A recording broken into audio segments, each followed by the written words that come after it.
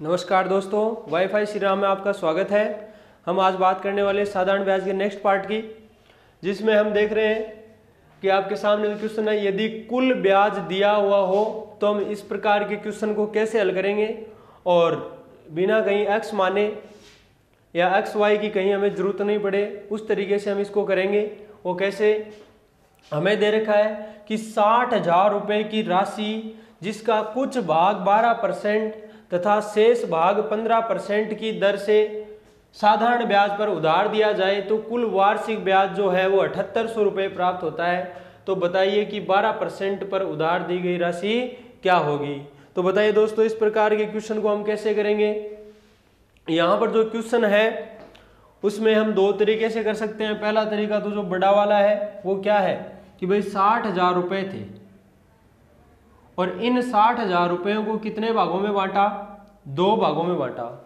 पहला भाग मैंने एक्स मान लिया तो दूसरा भाग कितना हो जाएगा अपना? ये साठ हज़ार माइनस एक्स हो जाएगा। अब पहले भाग का जो ब्याज है वो कितना लगता है? बारह परसेंट लगता है। वार्षिक ब्याज का मतलब एक साल का ही ब्याज है। तो x का बारह परसेंट ब्याज होगा, बारह बट्टा सौ, प्लस दूसरा भाग जो है साठ हज़ार माइनस एक्स उसका कितना ब्याज है? पंद्रह परसेंट। तो यहाँ से पंद्रह बट्टा सौ हो जाएगा। और इन दोनों ब्याज को अगर हम जोड़ें तो बराबर में आएगा अठहत्तर सौ।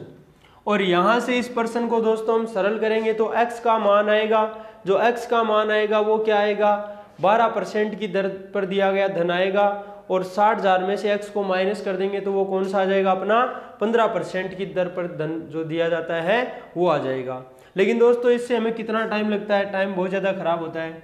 हम टाइम को बचाने का तरीका देखेंगे आज हम। कैसे करेंगे? देखिए, यहाँ पर साठ हज़ार रुपये थे। कितने रुपए? साठ हज़ार। और इन साठ हज़ार को दो भागों में बांटा, जिसमें पहला भाग तो है वो बारह परसेंट की दर से और दूसरा भाग पंद्रह परसेंट की दर से। और वार्षिक ब्याज दे रहेगा वार्षिक का मतलब एक साल का बारह परसेंट ब्याज लग रहा है और इसमें एक साल का कितना लग रहा है? पंद्रह परसेंट ब्याज। तो यहाँ पर दो एक एक साल के ब्याज, यहाँ पहले वाले धन पर बारह परसेंट ब्याज होगा और दूसरे वाले पर कितना? पंद्रह परसेंट। तो यहाँ से आप देखेंगे भाई, साठ हज़ार रुपए है। इसमें ये तो बारह परसेंट है पंद्रह परसेंट को अगर हम टुकड़ों में तोड़ लें, बारह परसेंट प्लस तीन परसेंट बना लें। तो यहाँ से 12 परसेंट, बारह परसेंट तो सेम हो जाएगी राशि। राशि अलग अलग है, लेकिन 12 परसेंट ब्याज तो दोनों का मिलाकर सेम ही होगा। तो वो कैसे? कि भाई अगर हम साठ हज़ार का 12 परसेंट ब्याज निकालें तो कितना आएगा? ज़ीरो से दो ज़ीरो कट गए। बारह के बेहतर यानी कि सात हज़ार दो सौ रुपये ब्याज आ गया। अब ये सात हज़ार दो सौ रुपये ही ब्याज आए, लेकिन दोस्तों हमें टोटल ब्याज कितना दे रखा है? अठहत्तर सौ रुपये दे रखा है। अब ये अठहत्तर सौ रुपये ब्याज जो है, वो किस वजह से आया? भाई, यहाँ बहत्तर सौ ही होना चाहिए। हो रहा कितना? अठहत्तर सौ है। यानी ब्याज एक्स्ट्रा आ रहा है। अब एक्स्ट्रा ब्याज कितना आ रहा है? बहत्तर सौ से कितना ज़्यादा है? छह सौ रुपये ज़्यादा है। बहत्तर सौ से छह सौ रुपये जो ज़्यादा आए एक्स्ट्रा एक्स्ट्रा ब्याज जो आया अपना, वो कितना आया? छह सौ रुपये आया। और ये छह सौ रुपये जो है, वो किस वजह से आया? यहाँ पर हमने देखा कि बारह परसेंट बारह परसेंट तो सेम है। और ये तीन परसेंट जो है एक्स्ट्रा और ये किसके बराबर होगा? 600 के बराबर होगा। तो यहाँ तीन परसेंट एक्स्ट्रा है, ब्याज यहाँ पर एक्स्ट्रा छह सौ रुपए तो तीन परसेंट की वजह से ही तो आया है। तीन परसेंट बराबर 600 है तो दोस्तों एक परसेंट बराबर कितना हो जाएगा? 600 सौ बट्टे तीन। तीन से कट गया, तीन दो छह, ये आ गया 200 जब एक परसेंट बराबर 200 है तो यहाँ वाला धन तो अपने आप में 100 परसेंट ही होगा। जब एक परसेंट बराबर 200 है तो 100 परसेंट बराबर कितना आ जाएगा? 100 गुणा दो यानी बीस हज़ार रुपये आ जाएँगे। तो हमने देखा कि 15 परसेंट पर जो राशि उधार दी गई थी, वो बीस हज़ार रुपये थी। तो बताइए भाई, साठ हज़ार रुपये में से बीस हज़ार रुपये आपने 15 परसेंट की दर पर दे दिए तो फिर 12 परसेंट की दर पर कितना दोगे? साठ हज़ार में से बीस हज़ार कम कर दो। तो यहाँ कितना दोगे आप? चालीस हज़ार रुपये उधार दोगे। जो प्रश्न पूछे उसी का जवाब आप दे सकते हो। अगर आपको 12 परसेंट की दर पर पूछे तो चालीस हज़ार रुपये आ जाएँगे। और 15 परसेंट की दर पर पूछे तो कितने आ जाएँगे? बीस हज़ार रुपये उम्मीद है दोस्तों कि आपके समझ में आया होगा। अब हम इसी प्रकार का एक क्वेश्चन और देखते हैं और कैसे करते हैं उसको? यहाँ तो वार्षिक ब्याज था, वार्षिक के बजाय आप बोलो, सर, यहाँ पर दो साल आ जाए, तीन साल आ जाए, चार साल आ जाए, साढ़े चार साल आ जाए तो हम इस प्रकार के क्वेश्चन को कैसे करें? तो देखिए दोस्तों, यहाँ पर एक प्रश्न है कि बीस हज़ार रुपये की राशि, जहाँ साठ हज़ार है उसकी जगह मैं कितना कर देता हूँ? बीस हज़ार रुपये कर देता हूँ। बीस हज़ार रुपये की राशि है जिसका कुछ भाग तो आठ परसेंट और शेष भाग जो है उसको 9 परसेंट की दर से साधारण ब्याज पर उधार दिया जाए तो कुल वार्षिक ब्याज नहीं है, बल्कि यहाँ पर क्या दे रखा है? कुल दो वर्ष का ब्याज। कुल दो वर्ष का ब्याज। जो दे रखा है दोस्तों, वो तैतीस सौ साठ रुपए दे रखा है। कितना दे रखा है? तैतीस सौ साठ रुपए दे रखा है। तो बताइए कि आठ परसेंट पर उधार दी गई राशि कितनी होगी? पर्सन सेम ही है, बस थोड़ा सा चेंज हुआ है, इसमें दो दरें अलग अलग दे दी है, धनराशि अलग दे दी है और समय दो साल दे दिया है, बाकी और कोई चेंज नहीं है, उसी तरीके से ये पर्सन अपना हो जाएगा। कैसे दोस्त? यहाँ पर बीस हज़ार रुपए की राशि है और इसको दो भागों में बांटा। पहला भाग जो है, उसे आठ परसेंट की दर पर और दूसरा भाग जो है उसको नौ परसेंट की दर पर उधार दिया गया। लेकिन दोस्तों, यह बोल रहा कि दो साल का ब्याज दे रखा है। जब दोस्तों, ये दर तो अपनी वार्षिक है, यानी कि एक साल का ब्याज आठ परसेंट है तो दो साल का ब्याज कितना हो जाएगा ये? आठ गुणा सोलह परसेंट ब्याज हो जाएगा। और यहाँ भी दो साल का तो नौ परसेंट एक साल का तो दो साल का कितना हो जाएगा? नौ गुणा अठारह परसेंट ब्याज हो जाएगा। अब दोस्तों, ये टोटल तैतीस सौ साठ दे रखा है। अपन क्या करते हैं, ये सोलह परसेंट तो पढ़ाई है और 18 परसेंट को 16 परसेंट प्लस दो परसेंट कर देते हैं, ताकि 16 परसेंट दोनों में सेम आ जाए। और बीस हज़ार का अगर अपन 16 परसेंट ब्याज निकालें तो बीस हज़ार गुणा सोलह बट्टा सौ दो ज़ीरो से दो ज़ीरो कट गए, सोलह गुणा बत्तीस, यानी बत्तीस सौ रुपए ब्याज के आ गए। सोलह परसेंट राशि अगर दोनों धनराशियों पर सोलह परसेंट की राशि होती तो कुल मिलाकर बत्तीस सौ रुपए आपको ब्याज के मिलते। लेकिन दोस्तों, यहाँ पर ये अठारह परसेंट है, यानी दो परसेंट एक्स्ट्रा है। उसी की वजह से ये देखो एक्स्ट्रा ब्याज मिला। कितना ब्याज मिला एक्स्ट्रा बत्तीस सौ से तैतीस सौ साठ। तो एक्स्ट्रा कितना कितना मिला? एक्स्ट्रा मिला हमें यहाँ एक सौ साठ रुपए। तो एक सौ साठ रुपए जो एक्स्ट्रा मिले, वो किसकी वजह से मिले? दो परसेंट की वजह से। तो दो प्रतिशत बराबर एक सौ साठ। तो बताइए, एक प्रतिशत बराबर कितना? 160 बट्टे कितना? दो दो से 16 कट गया, आठ बार यानी आ गया 80 जब एक परसेंट बराबर 80 है तो 100 परसेंट बराबर कितना आ जाएगा? 80 गुणा सौ यानी आठ हज़ार रुपये आ जाएगा अपना धन। जो राशि 9 परसेंट की दर पर उधार दी गई है, वो है अपनी आठ हज़ार। अब दोस्तों, बीस हज़ार में से आपने आठ हज़ार रुपये जब 9 परसेंट की दर पर उधार दे दिए गए तो बताइए सोलह, जो आठ परसेंट की दर पर उधार दिए, वो कितने बचे? बीस हज़ार में से आठ हज़ार कम कर दो तो कितने बचे? बीस हज़ार माइनस आठ हज़ार। तो बीस में से आठ गया, बारह हज़ार रुपए आ जाएँगे अपने। इस तरीके से भी हम इस प्रकार के क्वेश्चन को कर सकते हैं दोस्तों। नेक्स्ट क्वेश्चन की बात करते हैं।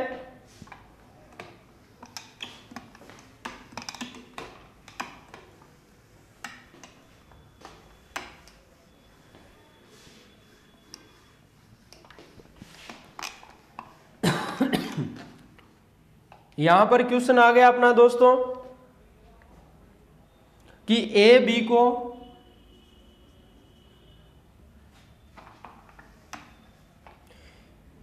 ए बी को पाँच सौ रुपए और सी को कुछ राशि समान समय के लिए आठ परसेंट वार्षिक दर से या प्रतिवर्ष की दर से वार्षिक दर से साधारण ब्याज पर उधार देता है।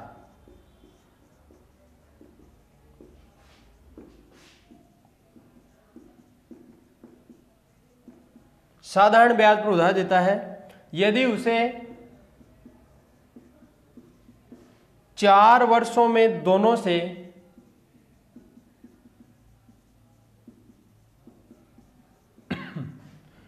कुल दो सौ दस रुपए ब्याज के रूप में मिलते हैं। ब्याज के रूप में मिलते हैं। तो उसने सी को कितनी राशि उधार दी?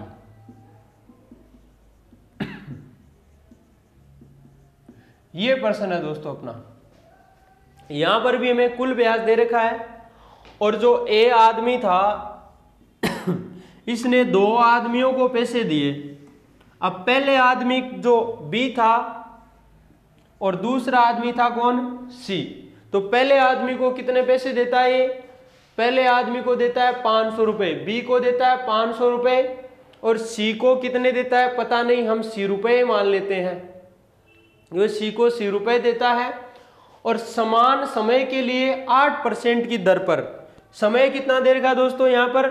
समय देर का चार वर्ष। यहाँ भी चार वर्ष है, और इसको भी चार वर्ष के लिए देता है इसको भी चार वर्ष के लिए देता है। तो दोस्तों जब ये आठ परसेंट की दर पर कोई धन उधार देता है। ये पाँच सौ देता है आठ परसेंट की दर से चार साल के लिए। तो मूलधन गुणा, दर गुणा, समय बट्टा में क्या सौ? तो ये ब्याज हो जाएगा नहीं हो जाएगा? ये हो जाएगा बी से प्राप्त ब्याज। और सी जो है, सी को कितने देता है? सी रुपए देता है आठ परसेंट की दर से चार साल बाद। तो इतना ब्याज हो जाएगा। और बी का ब्याज प्लस सी का ब्याज, इन दोनों से मिलाकर टोटल कितना ब्याज मिलता है? दो सौ दस मिलता है। इन दोनों को जोड़ने के बाद 210 प्राप्त हुआ। यहाँ से देखिए, दो ज़ीरो से दो ज़ीरो कट गए। पाँच गुणा आठ, चालीस चालीस गुणा चार हो गए एक सौ साठ। ये अपना एक सौ साठ है। एक सौ साठ है और ये आ गया प्लस में सी गुणा आठ चौक बत्तीस बट्टा में सौ, बराबर दो सौ दस। तो यहाँ से दोस्तों जो एक सौ साठ है इस 160 प्लस का है, इसको कहाँ भेजते हैं? उधर भेजते हैं तो माइनस का 10 हो जाए 160 माइनस का हो जाएगा। तो यहाँ से कितना बचा अपना? ज़ीरो, ग्यारह में से छः पाँच तो ये अपना पचास रुपये बच गया। और ये किसके बराबर है? सी गुणा बत्तीस बट्टा सौ के बराबर है। अब आप काट सकते हो। चार के पाड़े से आठ बार, ये चार के पाड़े से पच्चीस बार। दो के पाड़े से ये चार बार कट गया, दो से ये कट गया, पच्चीस बार। तो आपने देखा कि 25 गुणा पच्चीस कितना हो जाएगा? ये 625 हो जाएगा। और ये गुणा वाला चार तो जो सी के गुणा में चार था, वो चला जाएगा बट्टा में। जैसे ही आप चार का भाग दोगे तो चार एकम चार, दो बच गया बाईस, चार ओपन जो बीस, फिर दो बच गया तो पच्चीस, चार छिक चौबीस, फिर कितना बच गया? एक तो दस, चार दूना आठ, चार ओपन जो बीस। यहाँ से आप एक सौ छप्पन रुपये और 25 पैसे आपने क्या किए थे? सी को उधार दिए थे। तो सी का धन कितना आ जाएगा? एक सौ छप्पन पच्चीस पैसे या एक सौ छप्पन पॉइंट दो तो उम्मीद करता हूँ दोस्तों, आपके समझ में आया होगा। इसके बाद हम एक प्रश्न और लेते हैं।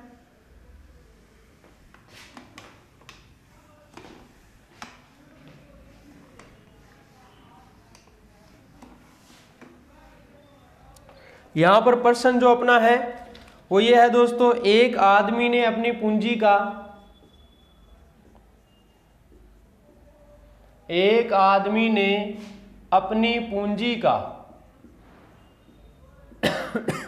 अपनी पूंजी का एक बट्टा तीन भाग साधारण ब्याज की सात प्रतिशत दर एक बट्टा चार भाग, आठ प्रतिशत तथा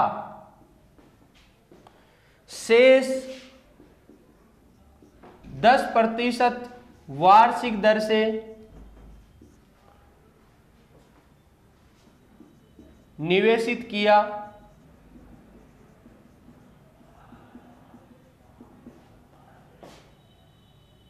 तो उसे वार्षिक आय पाँच सौ इकसठ रुपए हो तो निवेशित पूंजी क्या होगी?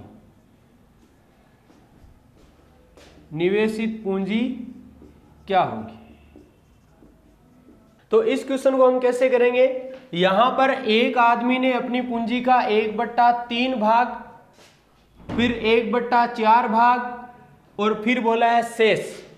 तो दोस्तों, अपन पूंजी या तो मान सकते हैं एक्स रुपए। तो एक्स रुपए मान के करोगे तो एक्स बट्टा तीन, ये एक्स बट्टा चार, फिर इन दोनों के, इन दोनों को आप x में से माइनस करोगे तो शेष पूंजी रहेगी। इस तरीके से करें तो थोड़ा थोड़ा सा अपना जो क्वेश्चन है दोस्तों, वो बड़ा हो जाता है। अब इसको थोड़ा सरल कैसे करें? अपन क्या करेंगे? यहाँ नीचे कितना दे रखा है? एक बट्टा तीन है तो तीन, यहाँ कितना दे रखा है? चार। तो आप मान सकते हो एक ऐसी राशि जिसमें तीन का भी भाग चला जाए और चार का भी भाग चला जाए। तो मैं मान लेता हूँ तीन चौके बारह रुपए। तो बारह रुपए में कुल मान लेता हूँ कुल पूंजी। कुल पूंजी अगर मैं बारह रुपए मानता हूँ तो बारह का एक बट्टा तीन कितना होगा? बारह बट्टा तीन यानी चार रुपए। भाई बारह का एक बट्टा तीन यानी चार हो जाएगा। फिर बारह का एक बट्टा चार चार से कट गया तीन बार तो ये तीन रुपए हो जाएँगे। अब जब चार रुपए आपने दे दिए सात परसेंट की दर पर, तीन रुपए दे दिए आठ परसेंट की दर पर, शेष कितने बचे आपके पास? चार और तीन सात रुपए तो आपने दे दिए हैं, और बारह में से सात रुपए उधार दे दिए तो बचे कितने फिर? पाँच रुपए। तो यहाँ पर आपने देखा कि चार रुपए जो थे, इनको दिया आपने कितने? सात परसेंट की दर पर। और समय कितना दे रखा है? वार्षिक आय। वार्षिक का मतलब एक साल की। तो यहाँ पर चार का सात परसेंट प्लस तीन का कितना? आठ परसेंट ब्याज प्लस पाँच का कितना? दस परसेंट ब्याज। इन तीनों को जोड़े तो ये टोटल ब्याज आता है अपना कितना? सात चौक अट्ठाईस प्लस आठ त्री चौबीस और पाँच दाए पचास। तो पचास बीस सत्तर और बीस नब्बे नब्बे और अट्ठानवे और चार कितना आ जाता है? एक सौ दो परसेंट आ जाता है। टोटल ब्याज जो आता है वो अपना कितना आ जाता है? 102 परसेंट ब्याज आ जाता है दोस्तों। तो यहाँ से ये जो 102 परसेंट जो होगा, वो किसके बराबर होगा? पाँच के बराबर होगा। 102 परसेंट किसके बराबर होगा? पाँच के बराबर होगा। तो यहाँ से अपन एक परसेंट बराबर निकाल सकते हैं तो एक परसेंट बराबर कितना आएगा अपना? पाँच सौ इकसठ। दोस्तों, इसको ऐसे न करके थोड़ा सा परसेंटेज में न रख के ऐसे भी कर सकते हैं अपन। ये 102 परसेंट है। इसको आप लिख सकते हो 102 बट्टे सौ, यानी कि 10.2 सॉरी 1.02 1.02 लिख सकते हो और ये 1.02 ब्याज होता है। अगर बारह रुपए आपने उधार दिए होते तो टोटल ब्याज आपको कितना मिलता? एक पॉइंट ज़ीरो दो रुपए मिलता। एक पॉइंट ज़ीरो दो का मतलब ही कितना है? पाँच सौ इकसठ है। तो एक पॉइंट ज़ीरो दो का मतलब पाँच सौ इकसठ तो एक का मतलब कितना आ जाएगा अपना? पाँच सौ इकसठ के बट्टा में एक पॉइंट ज़ीरो दो आ जाएगा। पॉइंट हटेगा, ऊपर चला जाएगा कितना? सौ। और आप इसे काट सकते हैं। दो के पहाड़े से काटें अगर तो दो से कट जाएगा ये अपना इक्यावन बार, ये दो से कट गया पचास बार। इक्यावन का भाग देंगे, इक्यावन का एक बार जाएगा, पाँच बच गया इक्यावन तो ये कट गया एक बार। तो ग्यारह पंजो पचास, सॉरी पचपन, और ये आ गया पाँच सौ पचास। तो एक का मतलब कितना आ गया अपना? पाँच सौ पचास। दोस्तों, ध्यान से देखना कि सात गुणा चार, अट्ठाईस परसेंट ब्याज होता है, ये चौबीस परसेंट और पचास परसेंट। टोटल एक सौ दो परसेंट, यानी एक सौ दो बट्टे सौ, एक पॉइंट ज़ीरो दो, ये किसके बराबर हो जाएगा? पाँच सौ इकसठ के बराबर। जब एक पॉइंट ज़ीरो दो, पाँच सौ इकसठ के बराबर तो एक किसके बराबर हो जाएगा? 550 के बराबर। लेकिन हमें क्या पूछा है दोस्तों प्रश्न में? कि कुल पूंजी क्या थी? तो हमने देखा पूंजी हमने कितनी मानी थी? 12 जब एक का मतलब 550 है तो 12 का मतलब कितना हो जाएगा? 12 गुणा पाँच गुणा कर दो। 12 पंजे साठ। बारह पंजे साठ और छः कितना? छियासठ। और ये आ जाएगा ज़ीरो। तो अपनी जो राशि है वो छियासठ सौ रुपए आ जाएगी और यही आपका क्या हो जाएगा? आंसर हो जाएगा। इस तरीके से इस प्रश्न को हम हल कर सकते हैं। नेक्स्ट क्वेश्चन लेते हैं दोस्तों हम। बहुत ही शानदार क्वेश्चन है।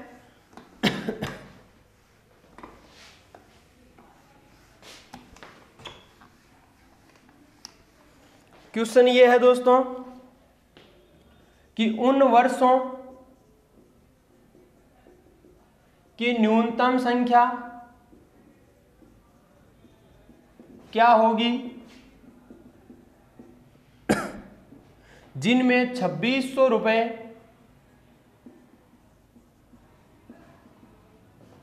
छह सही दो बट्टा तीन प्रतिशत वार्षिक दर से साधारण ब्याज की राशि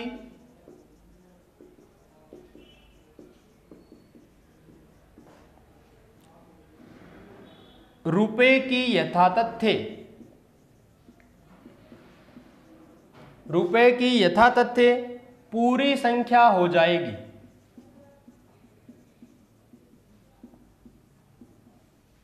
अब इस प्रश्न का मतलब क्या है दोस्तों? इसका मतलब यह है कि उन वर्षों की न्यूनतम संख्या बताइए। छब्बीस रुपए अगर आप किसी को उधार देते हो और छह से ही दो बट्टा तीन परसेंट वार्षिक जो दर लगती है तो वो जो राशि आएगी वो दोस्तों यथातथ्य पूरी संख्या होने का मतलब क्या है? कि वो संख्या पूरी पूरी आए, दशमलव में न आए। तो हम क्या करेंगे? हमारा तरीका वो रहेगा मूलधन गुणा, दर गुणा, समय बट्टा सौ बराबर ब्याज होता है। तो हमने देखा छब्बीस सौ रुपए है। उन पर दर मूलधन गुणा, दर कितनी है? छह से ही दो बट्टा तीन तो छत्री अठारह और दो, बीस बट्टा तीन हो गया। गुणा समय टी मान लेते हैं और बट्टा में कितना आ जाएगा? सौ आ जाएगा। अगर दोस्तों, हमें वो पूरी पूरी संख्या चाहिए तो हम किस प्रकार करेंगे? पहली बात तो आप ज़ीरो, दो ज़ीरो से दो ज़ीरो ये काट दोगे। तो यहाँ से देखो 260 गुणा दो है। 260 भी है और दो भी है, लेकिन नीचे कितना है? तीन है। आप तीन से न तो 260 को काट सकते और ना ही दो को काट सकते हो। यानी इसमें भाग देते हो दशमलव में आता है। तो बताओ, टी की जगह ऐसा न्यूनतम कौन सा मान रखें जिससे पूरा पूरा भाग चला जाए? तो क्या रखोगे? तीन रखोगे। और तीन रखते ही इससे क्या हो जाएगा? कैंसिल हो जाएगा।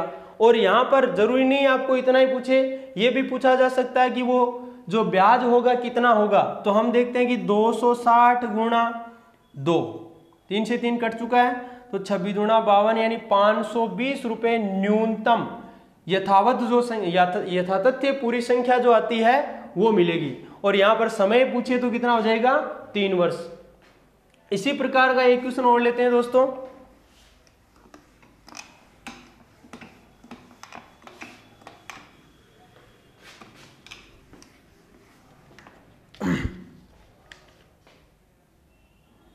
कि आठ सौ रुपए की राशि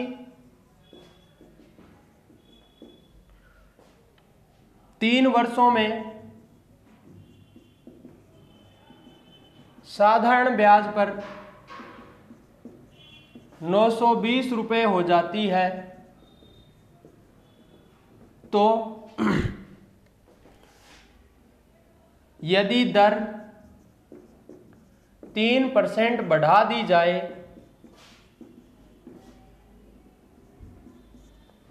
जाए तो समान अवधि में वह राशि कितनी हो जाएगी? समान अवधि में वह राशि कितनी हो जाएगी? कैसे करेंगे इस प्रकार के प्रश्न को? हमने देखा कि आठ सौ रुपए की राशि जो है, वो कितनी बन रही है? नौ सौ बीस रुपए बन रही है। समय कितना ले रही है? तीन वर्ष। आठ सौ रुपए, नौ सौ बीस रुपए बन रहे हैं। अब या तो इसकी दर निकाल के फिर तीन परसेंट दर जोड़ो, उस वैसे करो। तो अपना टाइम है, वो ज़्यादा खराब होता है। अगर टाइम को बचाना तो कैसे बचाएँ? कि क्योंकि आठ सौ रुपए है, वो नौ सौ बीस रुपए बन रहे तीन सौ तीन वर्ष में। अब जितनी भी दर है, हमें मतलब नहीं है। वो नौ सौ बीस रुपए तो बनने ही बनने हैं। और ये तीन परसेंट दर बढ़ा दी जाए तो वह सीधी सी बात जितनी दर बढ़ेगी, उतना ब्याज और बढ़ जाएगा। तो आठ सौ रुपये पर तीन परसेंट की दर बढ़ा दो। यानी एक साल में तीन परसेंट बढ़ती है, लेकिन समय तो वही रहेगा तो समय तीन साल ले दो। दर गुणा समय तो तीन तीन नौ परसेंट ब्याज बढ़ जाएगा। तो यहाँ से 800 का नौ परसेंट कर दो आप। दो ज़ीरो कट गए, नौ अठी बहत्तर रुपए। तो ये बहत्तर रुपए जो हैं, वो जितनी दर बढ़ी, तीन परसेंट तो तीन साल में नौ परसेंट बढ़ जाएगी, यानी बहत्तर रुपए और ब्याज के बढ़ जाएँगे। तो नौ सौ बीस में बहत्तर रुपए जोड़ दो, आपकी कितने आ जाएँगे? दो, सात और दो, नौ। नौ सौ बानवे रुपए हो जाएँगे तीन साल बाद। ठीक है दोस्तों? नेक्स्ट हम किस से रिलेटेड क्वेश्चन करेंगे नेक्स्ट वीडियो में? थैंक यू डेट पहला स्टेप है डेढ़ बजे तक। दूसरा स्टेप तीन बजे तक, फिर साढ़े चार, पाँच बजे तक फिर रात की दो ग्यारह बजे उसको उसमें कुछ देखने के बाद। उनका अपना करो टाइम हो गया। वीणा पाणी की वीणा पाणी की अनुकंपा से अनुकंपा से संकल्प करते हैं कि संकल्प करते हैं कि कठिन परिश्रम कठिन परिश्रम उत्कृष्ट लगन उत्कृष्ट लगन समन्वय समन्वय व पूर्ण आत्मविश्वास के योग से पूर्ण आत्मविश्वास के योग से हम अपना हम अपना लक्ष्य लक्ष्य प्राप्त कर रहे हैं। प्राप्त कर रहे हैं। तथा तथा भविष्य में भी भविष्य में भी करते रहेंगे। करते रहेंगे। और जो कुछ करणीय है और जो कुछ करणीय है उसके लिए उसके लिए नहीं शब्द नहीं शब्द। हमारे हमारे शब्दकोश में शब्दकोश में नहीं है। नहीं है। जय श्री राम जय श्री राजस्थान के हम निर्वाचित शिक्षा मंत्री गोविंद सिंह जी डोटासरा प्रभाव मिले हैं। जो ऐतिहासिक का हमें इंतज़ार था। वो इंतज़ार की घड़ियाँ अब खत्म होती है। इनके डायरेक्टर बॉस श्रीमान सुभाष सिंह मीर का भी आप जोरदार तालियों के साथ स्वागत करें। अलग इसका उजाला जाएगा एक मिनट आप बहुत दूर अलग इसका उजाला जाएगा। यदि अंधकार से लड़ने का संकल्प कोई कर लेता है तो एक अंधकार संबंध का उठा देता है।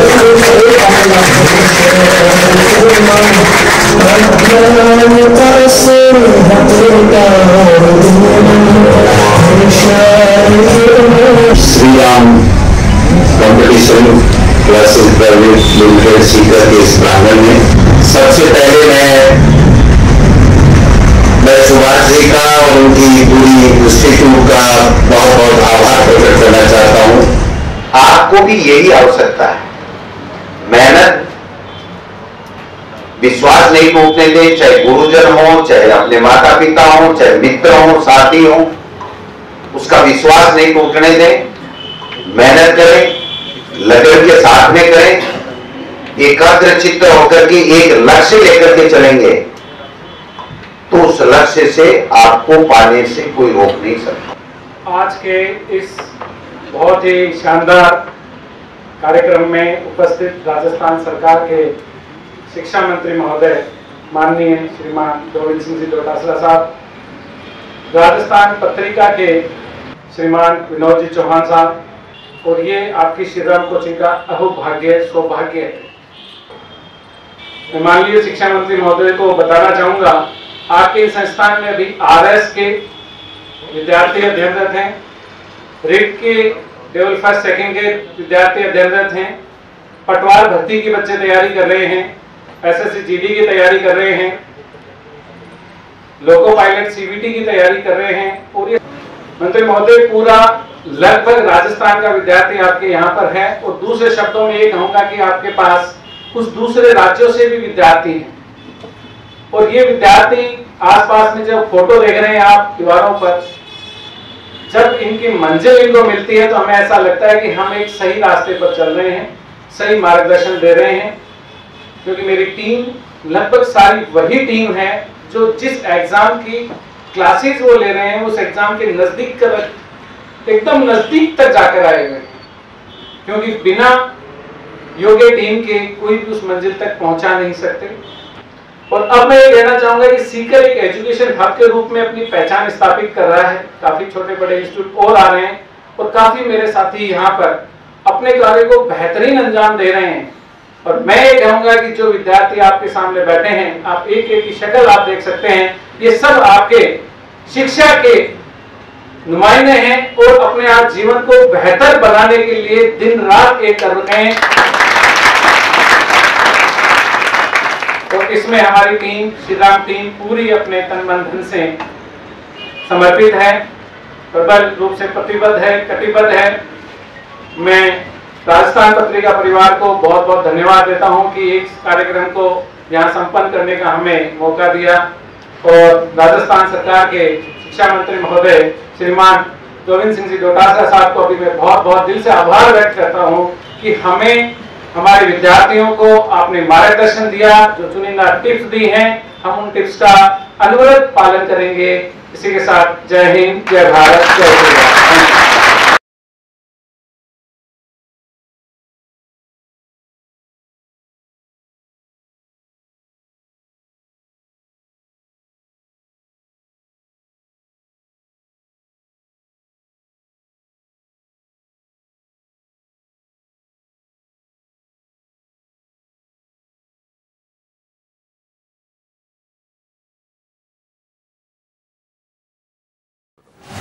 आज का ये बहुत बड़ी सफलता का दिन आर एस प्रॉपर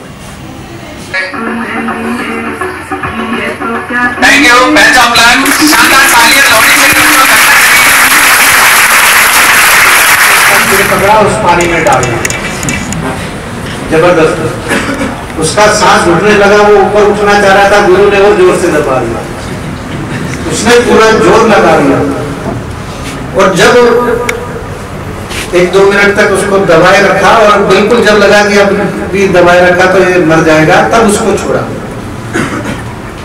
वो जब बाहर वापस आया तो उसने कहा गुरु जी ये आपने क्या किया?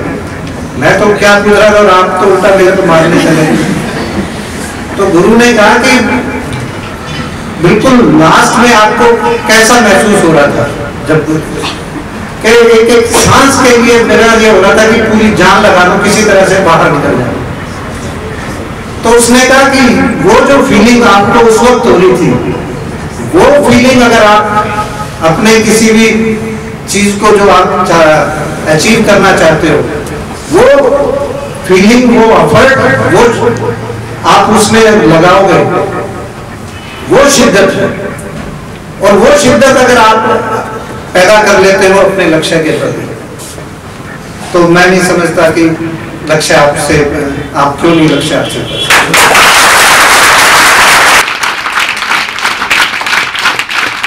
बाद राजस्थान पत्रिका के जनरल हेड विनोद जी चौहान का भी। ये विजय स्तंभ है। ये आप सबके भी आप पे मैं ले रहा हूँ आपकी विजय के लिए